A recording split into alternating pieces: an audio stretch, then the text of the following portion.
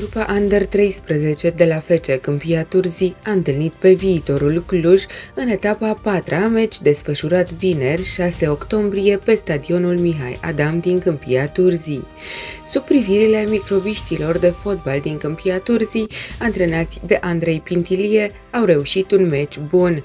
Impulsionați din tribune, aceștia au oferit momente de fotbal bun, au demonstrat că sunt o echipă și au ieșit în evidență prin efortul depus în teren.